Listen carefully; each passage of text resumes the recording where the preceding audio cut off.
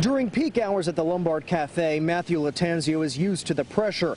His wife, Jill, had her share of stress as a nurse at Jefferson until last year. Completely blindsided us, and you know, there's absolutely no way to prepare for it. Jill's co-workers noticed she was making mistakes, We started seeing doctor after doctor. but every test came back negative. Eight months went by before they got the answer. It was Alzheimer's disease. Jill was only 45. something that I, I, I didn't even know really existed in someone this young. Jill's doctors told her they had never seen it in someone so young, but it does happen.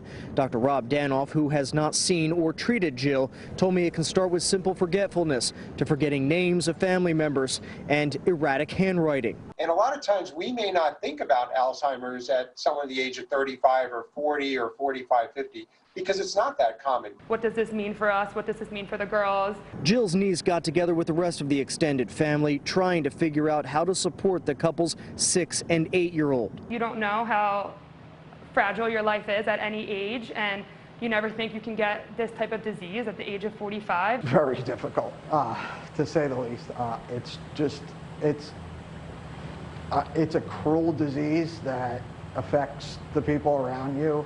It makes everything so difficult.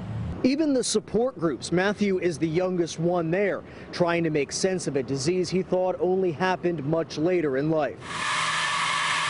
A fundraiser that Matthew wasn't even aware of at first has brought in almost $70,000 to date, even in the midst of a pandemic. The outpouring of love was undescribable. There's still no cure for Alzheimer's disease, and the progression varies from person to person.